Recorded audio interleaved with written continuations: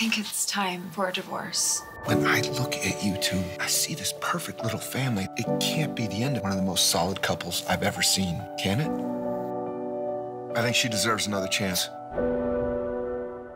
The Young and the Restless, new this week on CBS and streaming on Paramount Plus.